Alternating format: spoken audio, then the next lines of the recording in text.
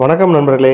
RCB அணிக்கும் Punjab Kings அணிக்கும் இடையே நடந்த விறுவிறுப்பான ஒரு போட்டியில் பார்த்தீங்கன்னா வந்து கடைசி நேரத்தில் வந்து போட்டியை வந்து தங்கள் பக்கம் மாற்றி ஆர்சிபி பார்த்தீங்க அப்படின்னா இப்போ வந்து ஜெயிச்சிருக்காங்க இந்த போட்டியில். ஜெயிச்சதோடு மட்டும் இல்லாமல் பிளே ஆஃபுக்குள்ளே பார்த்தீங்கன்னா ஆர்சிபி வந்து என்ட்ரி வந்து ஆயிருக்காங்க.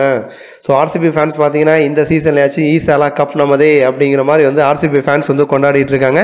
இன்னொரு புறம் பார்த்தீங்க அப்படின்னா பஞ்சாப் கிங்ஸ் வந்து இப்போ வந்து போட்டியிலேருந்து கொஞ்சம் பின்வாங்கியிருக்காங்க.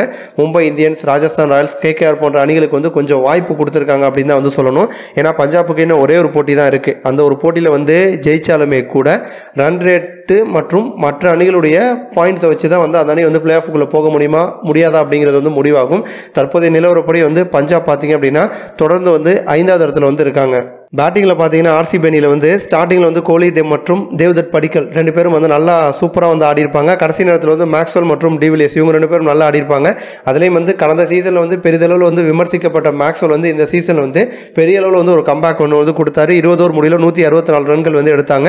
அடுத்த ஆன பஞ்சாப் கிங்ஸ் அணியில் பார்த்தீங்கன்னா ஓப்பனிங் மட்டும்தாங்க. ராகுல் அகர்வால் இவங்க ரெண்டு பேர் மட்டும்தான் அடிக்கிறாங்க. ஒரு காலத்தில் பார்த்தீங்கன்னா எஸ்ஆர்எஸ் அணியில் வந்து வார்னர் பேர்ஸ்டோ இவங்க ரெண்டு பேரும் நம்பி தான் ஒட்டுமொத்த டீமே இருக்கும். அதே மாதிரி தான் இப்போ வந்து பஞ்சாப் அணியில் பார்த்தீங்கன்னா பேட்டிங்னு பார்க்கும்போது வந்து ராகுல் அகர்வால் இவங்க ரெண்டு பேரும் வந்து நல்லா ஆடி கொடுத்துட்றாங்க. பஞ்சாப் கிங்ஸ் அணிக்கு வந்து முதல் விக்கெட்டே வந்து தொண்ணூத்தொரு ரனில் தான் வந்து விழுந்திருக்கும். ஆனால் அடுத்தடுத்து மிடில் ஆர்டரில் இருக்கக்கூடிய பூரனா இருக்கட்டும் மார்க்ராமாக இருக்கட்டும் சர்ஃப்ராஸ் கானாக இருக்கட்டும் இவங்க யாருமே வந்து சரியாக ஆடுறது கிடையாது. கடைசி நேரத்தில் வந்து ஷாருக் கான் வந்து அவருடைய பங்குக்கு வந்து முடிஞ்சது வந்து போராடுறாரு. இருந்தாலும் வந்து கடைசி நேரத்தில் போட்டி மாறிடுச்சு.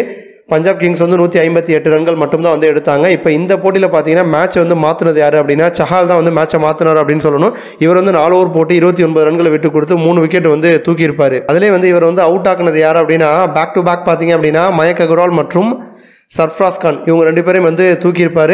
அதேமாதிரி நிக்கோல்ஸ் பூரனையும் வந்து சஹால் தான் வந்து அவுட் ஆக்கியிருப்பார். ஸோ சஹால் தான் வந்து மேட்சை மாற்றின ஒரு பிளேயர் அப்படின்னு வந்து சொல்லலாம் இந்த போட்டியில். இப்போ வந்து பாயிண்ட்ஸ் டேபிள் படி பார்க்கும்பொழுது மும்பை கேகேஆர் மற்றும் ராஜஸ்தான் ராயல்ஸ் இந்த மூணு அணிக்கும் வந்து வாய்ப்பு கொஞ்சம் பஞ்சாபை விட அதிகமாகவே வந்திருக்கு. இப்போ இப்போ நடந்துட்டு இருக்க போட்டி என்ன அப்படின்னா சன்ரைசர்ஸ் ஹைதராபாத்துக்கும் கேகேஆருக்கும் நடந்துட்டுருக்கு. இதில் வந்து கேகேஆர் வந்து ஜெயிச்சிட்டாங்க அப்படிங்கிற பட்சத்தில் அவங்க வந்து பிளே ஆஃபுக்கு போவதற்கான வாய்ப்பு வந்து இன்னும் ஸ்ட்ராங் பண்ணிடுவாங்க. ஒருவேளை தோத்துட்டாங்க அப்படின்னா அவங்களும் வந்து பஞ்சாப் மாதிரியே வந்து பிளே ஆஃப் வாய்ப்பை வந்து தவற விடுவதற்கான சான்ஸாக வந்து அதிகமாகும் ஸோ எது எப்படி இருந்தாலும் பஞ்சாப் அணியுடைய தோல்வி வந்து மும்பை ஃபேன்ஸ் வந்து உற்சாகப்படுத்தியிருக்கு. மும்பைக்கு வந்து மறு வாய்ப்பு வந்து கிடைச்சிருக்கு அப்படின்னு தான் சொல்லணும்.